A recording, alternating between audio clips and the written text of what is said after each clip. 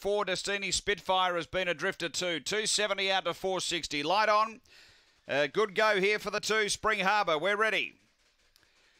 Racing, good line away, speed early from Claretown, Molly Destiny, Spitfire moving through, Spring Harbour driving up behind them, then Hard Case Watson, uh, next Calais Prince and Ripplebrook snip down the back, the leader Claretown Molly from Destiny Spitfire trying to look for a run, Spring Harbour nothing there at the moment, it's barging out, then Hard Case Watson turning, Destiny Spitfire found the lead, Spring Harbour over the top, too good, the Wellback runner gets it done, Spring Harbour beats uh, Destiny Spitfire, Hard Case Watson, then uh, Ripplebrook snip, Calais Prince and Claretown Molly. The time here 22 and 96.